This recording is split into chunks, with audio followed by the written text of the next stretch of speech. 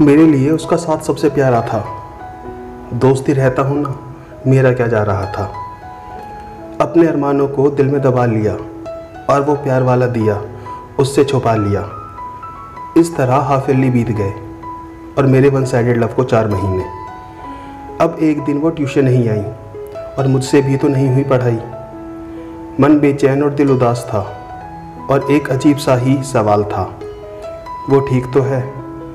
खुद से ही सवाल जवाब कर रहा था, पर यह सवाल तो मुझे भी परेशान कर रहा था। नेक्स्ट डे ट्यूशन पहुँचते ही वो नज़र आई और देख उसे मेरी जान में जान आई। बैठी थी वो अपनी जगह और मैं अपनी जगह बैठ गया। उसने बोला, हाय, और मैंने एक सवाल किया, कहाँ थे कल आप? और वो बोली, क्यों? क्या हुआ? मुझे मिस किया। क्यों ऐसे ही नहीं पूछ सकता? हाँ बिल्कुल पूछ सकते हो। लेकिन मैंने तो किया।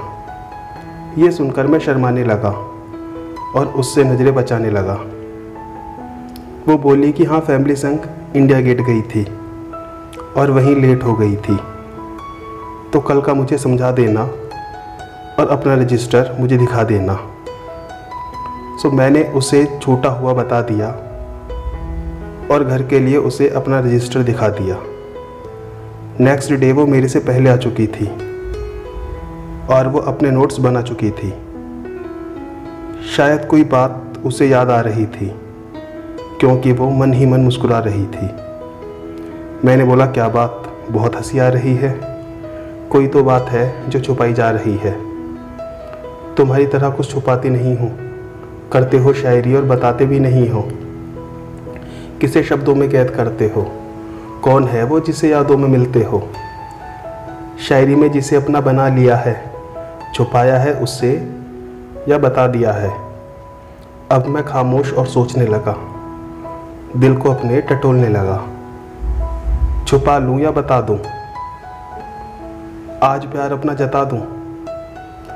फिर रूठने के डर ने घेर लिया और फिर मैंने नज़रों को फेर लिया। अरे कहाँ इतना अच्छा हूँ लिख पाता? और इसके बारे में क्या बताता? सुन, जिसे उसके चेहरे पे खामोशी आ गई और उसके चेहरे पर एक मायूसी छा गई। दो तीन दिन बाद फिर हंसने मुस्कुराने लगी थी। अब पहले से शायद ज़्यादा करीब आने लगी थी। या शायरी सुनाओ शायरी सुनाओ, ये बोलकर ज़्यादा सताने लगी थी। पर मैं भी तो शायरी उसके लिए लिखता था। अपने शब्दों से, उसके रूप को रचता था। कुछ दिनों में नया साल आने वाला था और मैं उसे दिल की बात बताने वाला था। हाँ उससे दिल की बात कह दूँगा। फिर अपने दिल को हल्का कर लूँगा। बता दूँगा उसे जो मेरे जज्बात है। पकड़ ले हाथ या छोड़ दे, अब ये उसके हाथ है। फिर मैंने ट्यूशन में बोला कि एक बात है, चलो ना बाहर चलते हैं और किसी खासी जगह मिलते हैं। न्यू ईयर की पार्टी मनाएँगे और कुछ पल साथ ही बिताएँगे। वो बोली, क्या बात, बहुत रोमांटिक लग रहे हो और बाहर क्यों मिल रहे हो? ऐसा कुछ नहीं है, आपको नहीं पसंद तो रहने देते हैं। वो बोली, अरे नहीं, चलते हैं। फाइनली वो दिन आया जिस दिन मुझे जाना था। अपनी किस्मत और प्यार दोनों को आजमाना था। मैं डिसाइड की जगह पे टाइम से पहले ही पहुँच गया।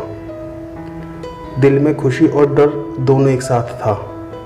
बहुत ही अजीब सा हाल था। सच कहूँ तो मैं बहुत डर रहा था। बस एक दिखावटी हँसी हंस रहा था। तभी वो आती हुई नज़र आई और मानो मेरी सांस रुक गई। खुले बाल और लाल रंग, क्या खिल रहा था? मानो भगवान उसकी खूबसूरती लिख रहा था। वो आई और बोली, हाय, आप बहुत प्यारी लग रही हो। उसने बोला थैंक्स और अब क्या करना है? फिर मैंने उसे चेयर पे बैठा दिया, उसकी फेवरेट चॉकलेट और एक टैडी दिया, और फिर खामोश हो गया। बातें तो बहुत थी, लेकिन पता ही नहीं कि शुरुआत कहाँ से करूँ। उसने फिर बोला, पवन, अब आगे क्या? मेरी अभी भी खामोश नज़रें उसके चेहरे को देख रही थी। और वो मेरे। फिर हिम्मत करते हुए मैंने उसके हाथों को पकड़ा और उसकी आँखों में आँखें डालते हुए बोला, दुनिया से उसे छुपाना चाहता हूँ, संग उसके चलना चाहता हूँ। जो मेरी गलतियों पे मुझे डांट दे, लेकिन हमेशा मेरा साथ दे।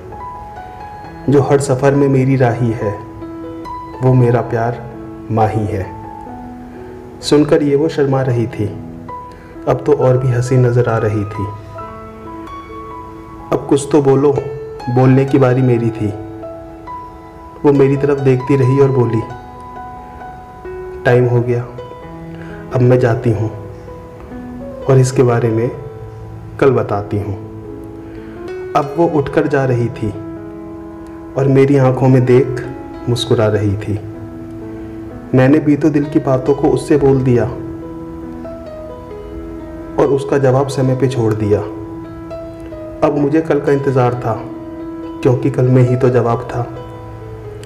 क्या मेरी प्रेम कहानी आगे बढ़ पाएगी? या बस एक तरफा रह जाएगी? हाँ किया तो पालूँगा सब कुछ, अगर ना तो। दोस्ती तो ना ख़त्म हो जाएगी। उसका नाम मुझे डरा रहा था। लेकिन हाँ सोच। भी तो शर्मा रहा था। अगले दिन जब मैं ट्यूशन पहुँचा तो वो बैठकर सवाल कर रही थी और बाकी बच्चों संग हँसी मज़ाक कर रही थी। मैं भी अपनी सीट पर बैठ सवालों को करने लगा और भी मन से पढ़ने लगा। सर आए और पढ़ाने लगे, पर पढ़ने का मन कहाँ कर रहा था? आज मन भी तो कहीं और लग रहा था। जो बेचैन कर रहा था, वो एक ही तो सवाल था। और मुझे बस छुट्टी का इंतज़ार था, क्योंकि मुझे एक प्यारी सी लड़की से जो प्यार था। छुट्टी हुई और अब सब घर जाने लगे। मैं उसके पास पहुँचा और बोला, क्या कुछ कदम साथ चल सकते हैं? उसने भी हंसकर बोला, हम आपको मना कैसे कर सकते हैं? फिर मैं बोला, अरे, सुनो ना। मैंने कुछ पूछा था आपसे। थोड़ी देर की खामोशी के बाद वो बोली,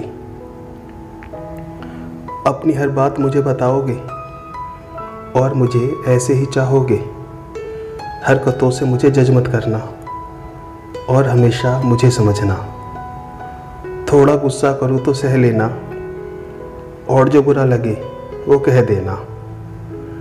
ये कहते हुए उसने मुझे गले लगाया, फिर हमने कदमों को घर की तरफ़ बढ़ाया।